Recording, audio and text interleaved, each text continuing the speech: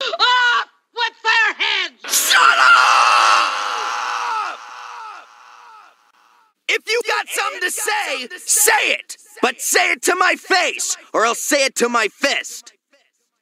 Sorry.